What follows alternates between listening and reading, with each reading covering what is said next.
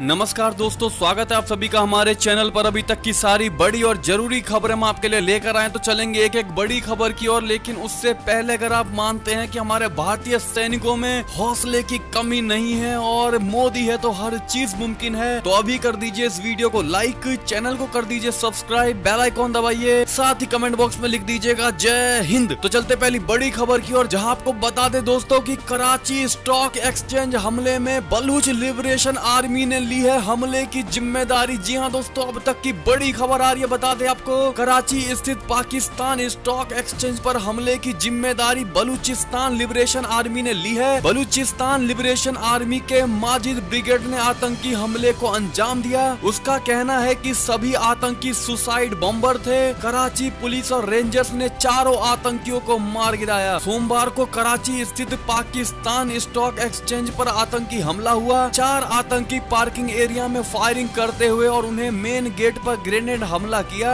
इस दौरान सुरक्षा बलों ने संघर्ष में दो आतंकी मारे गए। कुछ देर बाद बकी बचे दोनों आतंकियों को भी कराची पुलिस और पाकिस्तान रेंजर्स ने मार गिराया। जी हाँ दोस्तों, आतंकियों की फायरिंग के दौरान छह लोगों के मारे जाने की खबर है। इसमें चार गार्ड और एक पुलिस कर्मी भी शामिल है। आपको बता दे दोस्तों, सिंध प्रांत की राजधानी कराची में आतंकी हमला होना एक बड़ी खबर है, क्योंकि इसे पाकिस्तान की आर्थिक राजधानी भी कहा जाता है। आपको बता दे, हाल ही के दिनों में बालूचिस्तान लिबरेशन आर्मी ने पाकिस्तान में कई आतंकी हमलों को अंजाम दिया है। ये आतंकी संगठन बलूचिस्तान की पाकिस्तान से आज़ादी के लिए लड़ाई लड़ रहा है। ये आतंकी संगठन 2000 में उस वक्त सुर्खियों में आया था जब इसने पाकिस्तान में सिलसिलेवार धमाके किए थे। ऐसे में दोस्तों, बालूचिस्तान की मांग को अगर आप सही मानते हैं दोस्तों, और मानते हैं कि बालूचिस्तान को पाकिस्तान से अलग होना ही चाहिए तो अपनी राय ज़रूर दीजिएगा कमेंट सेक्शन में। दोस्तों, लिख करके चलते और बड़ी खबर की और जहाँ आपको बता दें कि सीमा पर तनाव के बीच भारत से बचकर रहे चीन, जल्द लैंड करने वाले हैं राफेल लड़ाकू विमान। जी हाँ दोस्तों, ये भी बड़ी खबर आ रही है। पूर्वी लद्दाख में भारत चीन सीमा को लेकर लंबे समय से जारी तनाव के बीच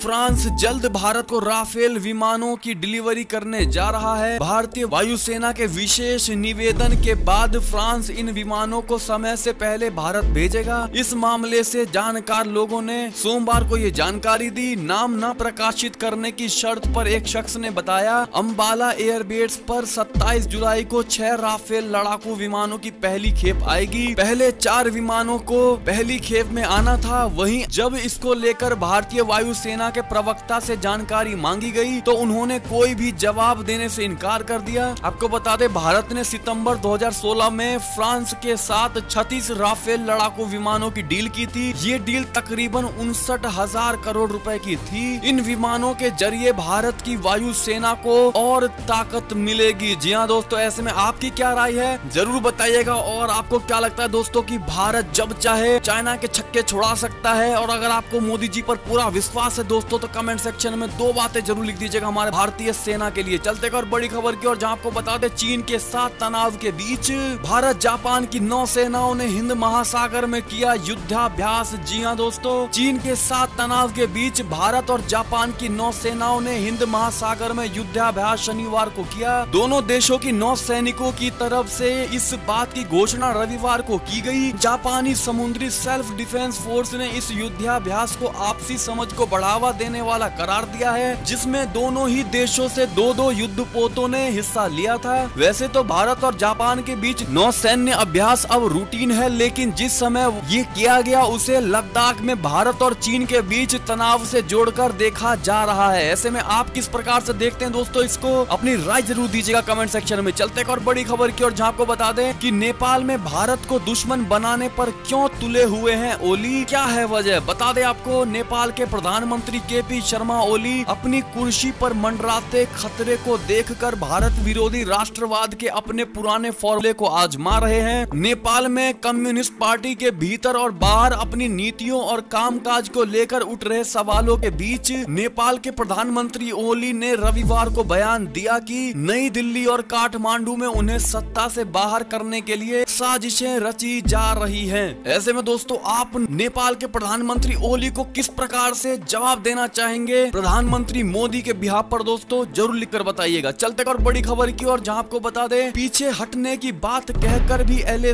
पर निर्माण कर रहा है चीन। भारतीय इलाके में भी ड्रैगन का काम जारी। जी हाँ दोस्तों, सैन्य कमांडरों की बैठक में एक तरफ़ चीन तनाव को कम करने और पीछे हटने पर सहमति व्यक्त करता रहा है तो दूसरी तरफ़ उनकी सेना एल यानी वास्तविक नियंत्रण रेखा के निकट अपने निर्माण कार्य को तेज करती रही है, लेकिन उपग्रह की तस्वीरों ने उसकी पोल खोल कर रख दी है। इन तस्वीरों से ये बात साफ़ होती है कि 6 जून को बनी सहमति के बाद भी वो एल पर निर्माण कार्य करता रहा है। जी हाँ दोस्तों, सैटेलाइट फ़ोटो से ये स्पष्ट हो गया है कि चाइना अभी भी वहाँ निर्माण कार्य में जुटा हुआ है। ऐसे में आपकी क्या राय है दोस्तों? और प्रधानमंत्री मोदी जी को किस प्रकार से एक्शन लेना चाहिए? चाइना को लेकर ज़रूर बताइएगा और जल्द से जल्द एक्शन लेना चाहिएगा। चाहिए कमेंट सेक्शन में भारी मात्रा में लिखना मत भूलिएगा। चलते और बड़ी खबर की और जहाँ आपको बता दे वीके सिंह ने कहा, चीनी सैनिकों के तंबू में लगी रहस्यमयी आग की वजह से हुई थी हिंसक झड़प। जी हाँ दोस्तों, पूर्वी लद्दाख के गलवान घाटी में भारत और चीन के बीच हिंसक झड़प की वजह को लेकर पूर्व सेना प्रमुख वी के सिंह ने नया दावा किया है। वी के सिंह का कहना है कि चीनी सैनिकों के तंबू में अचानक लगी आग से हालात बिगड़े और सैनिकों के बीच हिंसक झड़प शुरू हो गई। उनके मुताबिक ये कह पाना मुश्किल है कि चीनी सैनिकों ने तंबू में क्या रखा हुआ था जिससे आग लगी। हालाँकि वी के सिंह का दावा अब तक के अनु,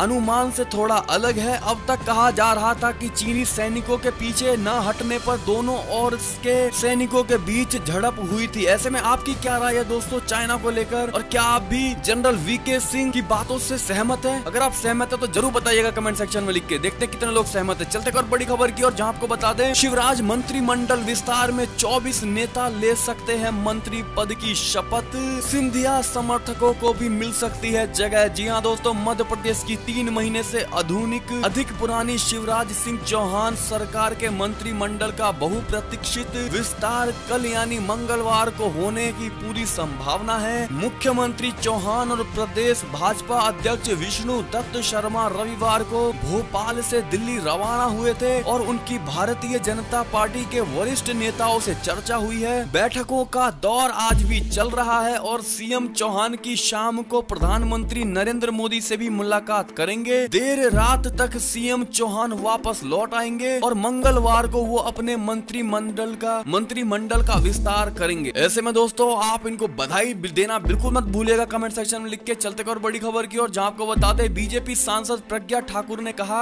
कि विदेशी महिला से पैदा हुआ व्यक्ति राष्ट्रवादी कभी नहीं हो सकता। जी हाँ दोस्तों जीटू पटवारी ने भी यूँ दिया जवाब। आपको बता दें मध्य प्रदेश की भोपाल लोकसभा सीट से बीजेपी सांसद प्रज्ञा सिंह ठाकुर ने कांग्रेस के पूर्व अध्यक्ष राहुल गांधी का नाम लिए बिना कहा कि एक विदेशी महिला से पैदा हुआ व्यक्ति राष्ट्रवादी नहीं हो सकता है। ठाकुर ने भोपाल में प्रदेश बीजेपी कार्यालय में एक कार्यक्रम के बाद भारत चीन के बीच तनाव के संदर्भ में कांग्रेस के आरोपों के बारे में एक सवाल पर पत्रकारों से कहा कि कांग्रेस को तो अपने गिरेवान में झाँक कर देखना चाहिए। उनमें ना तो बोलने की सभ्यता है, ना ही पार्टी में संस्कार है, ना ही उनकी पार्टी में देशभक्ति है। मैं एक बात कहूँगी की देशभक्ति आएगी कहाँ से? जब दो देशों की सदस्यता लेकर रहेंगे। ऐसे में दोस्तों, आपका क्या मानना है? क्या बीजेपी सांसद प्रज्ञा सिंह ठाकुर ने सही तरह से घेरा है कांग्रेस को आपको क्या लगता है दोस्तों? ज़रूर बताइएगा और आप किस, किस प्रकार से कांग्रेस को जवाब देना चाहेंगे अपने तरीके में लिखना मत भूलिएगा। चलते एक और बड़ी खबर की और जहाँ आपको बता दे मायावती बोली देश हित में बीएसपी केंद्र के साथ है राजनीतिक लड़ाई का चीन उठा सकता है फ़ायदा। जी हाँ दोस्तों बता दे भारत और चीन के बीच बॉर्डर पर जारी तनाव को लेकर कांग्रेस और भारतीय जनता पार्टी में लगातार वार पलटवार जारी है। उत्तर प्रदेश की पूर्व मुख्यमंत्री और बहुजन समाज पार्टी की प्रमुख मायावती ने भी इस,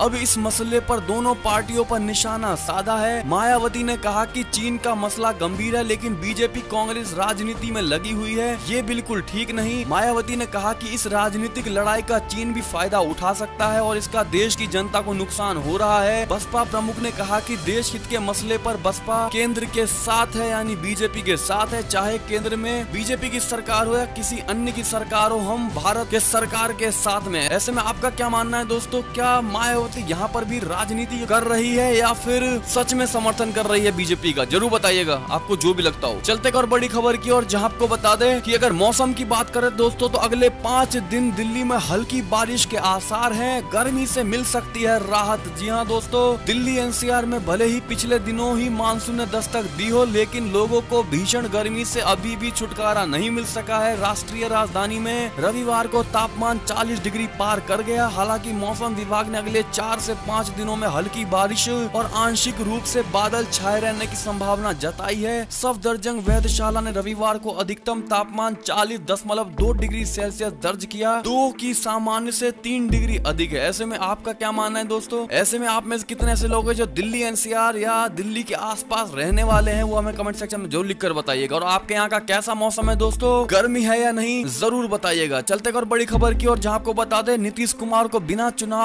कराए, फिर से सीएम बनाने की मांग शुरू। निर्वाचन आयोग को सौंपा ज्ञापन। जी हाँ दोस्तों, मुख्यमंत्री नीतीश कुमार को बिना चुनाव के ही अगले पाँच साल के लिए मुख्यमंत्री नियुक्त करने की मांग उठ गई है। पटना के युवा वर्ग के लोगों ने इस संबंध में बिहार के मुख्य निर्वाचन पदाधिकारी को ज्ञापन सौंपा। ज्ञापन में कहा गया है कि कोरोना महामारी के मद्देनजर चुनाव रद्द करें और नीतीश कुमार को अगले पाँच साल के लिए फिर मुख्यमंत्री नियुक्त कर दिया जाए। पटना के युवाओं ने कहा कि कोरोना महामारी को देखते हुए सीबीएसई और आईसीएसई बोर्ड दसवीं और बारहवीं की परीक्षा को रद्द करके आंतरिक मूल्यांकन के आधार पर रिज़ल्ट देने का फैसला लिया ऐसे में दोस्तों, आप क्या मानते हैं? क्या बिना चुनाव के मुख्यमंत्री नीतीश कुमार को फिर से अगले पाँच साल के लिए बिहार के मुख्यमंत्री बना देना चाहिए? आपकी क्या राय है दोस्तों? ज़रूर बताइएगा। ये देश का मामला है और बिहार का मामला है। बताइएगा ज़रूर दोस्तों। एक और खबर की माने तो बाल बाल बच्चे एनसीपी सुप्रीमो शरद पवार, काफिले में शामिल पुलिस की गाड़ी पलटी। जी हाँ दोस्तों, देख सकते हैं फ़ोटो में आपको बता दे, Rashtravadi Congress party supremo Sharad Pawar के काफिले में शामिल पुलिस की एक गाड़ी का मुंबई पुणे एक्सप्रेस पर एक्सीडेंट हो गया। पिंपड़ी चिंचवड़ के इलाके में पुलिस की गाड़ी पलट गई, जिसमें एक पुलिसकर्मी जख्मी हो गया। हालाँकि उसे कोई गंभीर चोट नहीं आई है। और दोस्तों, ये थी अब तक की सारी बड़ी खबरें। आपको हमारी खबरें कैसी लगी? अगर जरा भी अच्छी लगी है दोस्तों तो इस वीडियो को अभी अपने भाई बंधुओं में व्हाट्सअप फेसबुक पर शेयर ज़रूर कर दीजिएगा। और अभी कर दीजिए इस वीडियो को लाइक चैनल को कर दीजिए सब्सक्राइब बेल आइकॉन दबाइए। साथ ही कमेंट बॉक्स में लिख दीजिएगा, जय हिंद, जय भारत। तो मिलते हैं आपसे अगली बड़ी खबर में। तब तक के लिए अपना ख्याल रखिएगा, घर में रहिएगा लॉकडाउन का पालन करिएगा। धन्यवाद। और दोस्तों, साथ ही आपको बता दें कि आप लोगों ने जॉब के लिए भी कहा था कि जहाँ भी जॉब को लेकर कोई बात आए तो हम आपको जॉब से जुड़ी खबरें ज़रूर बताएँ। इसलिए हम आज से जॉब के लिए भी